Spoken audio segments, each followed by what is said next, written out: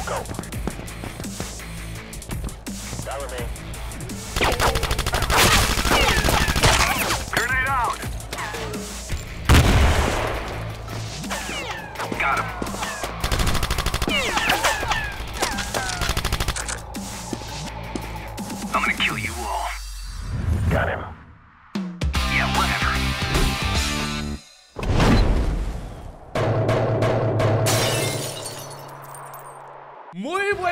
todos amigos, soy Black, ¿qué tal estáis? Y bienvenidos una vez más al canal Como sabéis, se acerca la nueva caja del millón de dólares Por lo tanto, hoy nos vamos a despedir de la caja de la operación Así que espero que disfrutéis muchísimo del vídeo Y a ver si nos toca un último cuchillo ¡Let's go! Y vamos al lío chicos y chicas, vamos a empezar con la apertura. Hoy os he traído 60 cajas de la operación Riptide Buscando, por favor, que nos toque un cuchillo para despedirnos como Dios manda, ¿no? Sería algo totalmente maravilloso.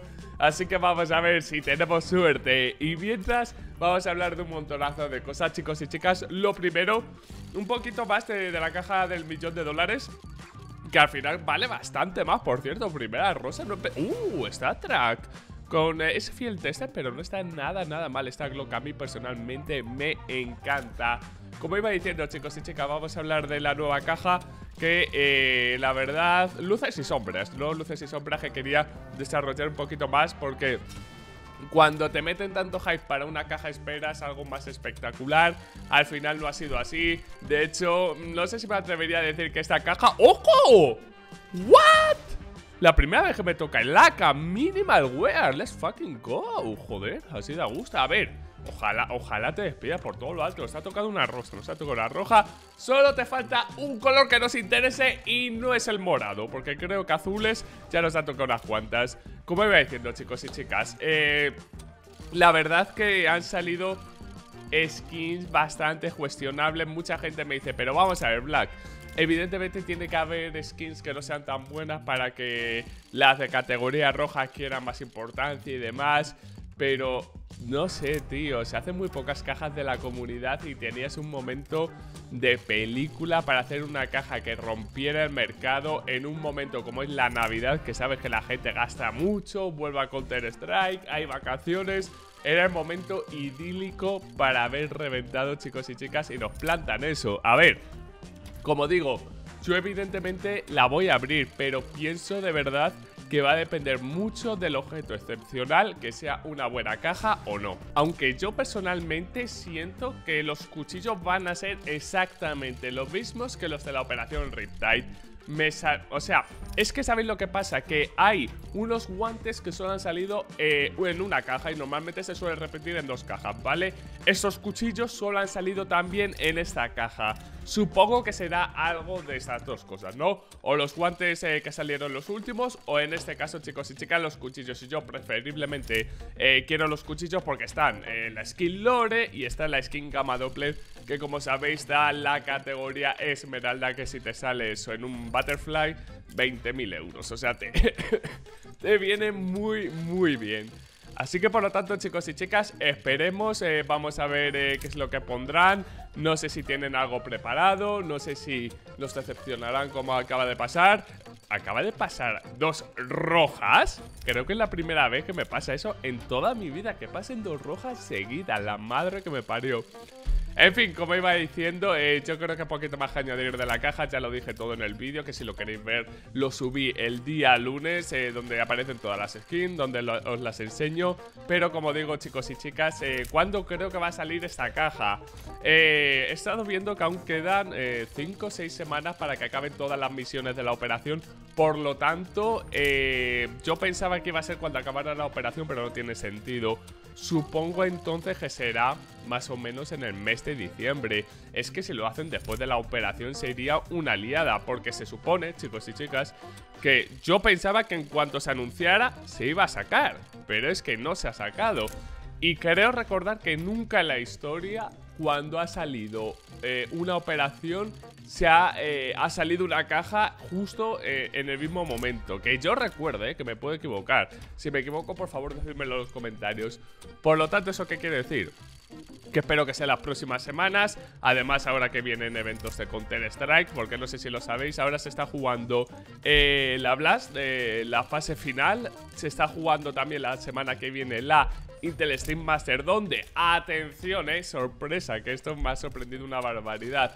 Kenies va a jugar en G2. ¿Qué os parece, chicos y chicas? Menuda santísima barbaridad. Como estaba diciendo, resulta que Nexa ha tenido problemas con Visa. Hay mucha gente que ya está diciendo, bueno, no, Nico, eh, le habrá echado, no sé qué, no. Eh, en, verdad tiene problemas con la Visa, no rayéis. Y como digo, eh va a jugar Kenies, eh, va, es el standing. La verdad que tiene G2 un standing de la hostia, no nos vamos a engañar. Y es que Kenies, como sabéis, estaba tocando muchísimo Valorant. Y cuando digo muchísimo, es que yo sé a ciencia cierta, que esto evidentemente no se ha hecho público, pero si... No sé, si conoces a la gente adecuada lo puedes saber. Básicamente estaba jugando con equipos eh, profesionales de Valorant, Screens, para competir en Valorant. Y, eh, si no me equivoco, hace unos días en un... Eh, en una entrevista que le hicieron, dijo públicamente, yo, chico, yo quiero seguir jugando CSGO y quiero darle muchísima caña. Por lo tanto, a lo mejor, eje, como digo, no, o sea, realmente espero que sea que sí se quiere mantener el CSGO y que no haya sido por el hecho de que va a jugar esta, eh, eh, esta IEM, de IEM Winter creo que se llama. Espero que si tiene un muy buen resultado, como que afiance la idea de que Counter-Strike es su sitio. El miedo lo tengo que como se pegue la estampada, que lo dudo. Porque que ni es a pesar de que lleve no retirado, ¿no? Ya me entendéis. Pero aunque lleve ese jugar competitivo mucho tiempo, eh, es un tío que va a dar la talla sí o sí. El problema es ese, ¿no? Que Vamos a ver qué pasa, porque es un evento complicado, creo recordar que solo hay 8 equipos, está bastante, bastante duro, así que vamos a ver chicos y chicas si finalmente Kenny es logra destacar. Y cuando he dicho que creo que hay 8 equipos, creo que me he colado. No hay 8, hay 16 que lo acabo de comprobar. Y está pues G2, Capit, Heroic, Vitality, NIP, Virtus Pro, Face, Ence, OG, Big, Liquid, Mouse, Fnatic, Astralis, Gosen y Tailu. Espero de corazón que G2 se lleve. Es que G2, chavales, hace que no ganan un evento años. Y cuando sigo años no es ni uno, ni dos, ni tres. Es más tiempo. Creo recordar. Es que hace mucho que no ganan. Entonces, em, espero de corazón que ganen. Gambit, eh, de hecho, viene de ganar. Así que ojo piojo el último evento que ha ganado más de 100.000 pavos. Donde estaba Movistar. Eh, Vitality se supone que ahora está en fase de cambio. No sé si lo harán muy bien. Ahí van.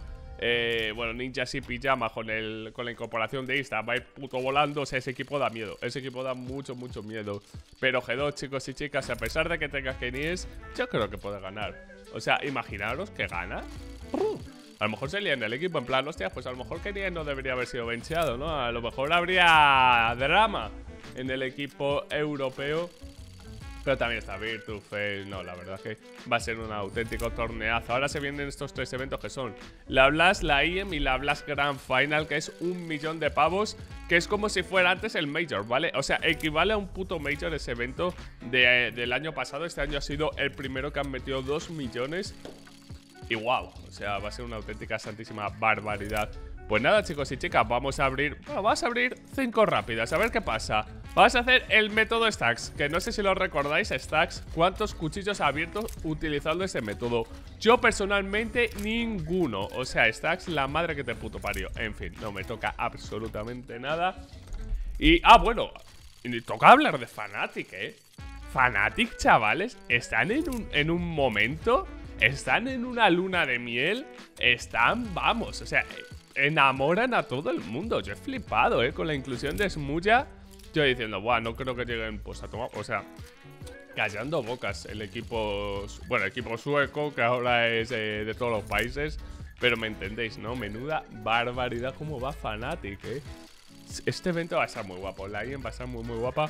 Y nos quedan muy, muy buenos eventos para terminar el año debido que, como sabéis, ¿no? Con el tema de la pandemia, los eventos han estado bastante escasos. Pues ahora viene un mes de diciembre que para todos los amantes de Counter-Strike vamos a alucinar. Pues era básicamente de lo que quería hablar, de la cajita y también de los eventos, eh, para poneros un poquito al día. Como siempre, chavales, espero de corazón que os gusten este tipo de vídeos en los que me puedo hablar de todo un poquito, ¿no? De la actualidad de Counter-Strike mientras abro unas cajitas. Eh, se vienen muchos vídeos ahora muy, muy interesantes. Vamos a ver si podemos hacer algo en el mes de diciembre que, que, sea grande para terminar este año 2021, que como digo no ha sido el mejor mes de la historia del canal. De hecho en YouTube estamos todos un poquito eh, cayendo, pero el amor por Counter-Strike nunca desaparece, lo sabéis. Bueno, y de repente se suscribe alguien al canal de Twitch. Dicho esto, millones de gracias, espero de corazón que hayáis disfrutado del vídeo. Si ha sido así, reventar el botón de like, no olvidéis suscribiros. Y nos vemos mañana con mucho más. Un saludo y hasta la próxima. Chao, chao.